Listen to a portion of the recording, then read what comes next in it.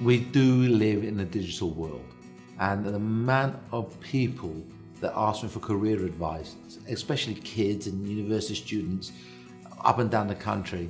And the first thing I said to them is find what you're passionate about.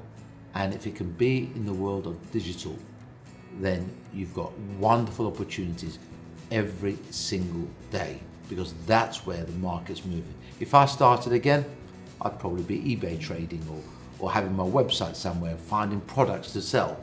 Because now, no longer do you have to have 200 shops spread throughout the country to get to a customer. You can reach a customer from your bedroom.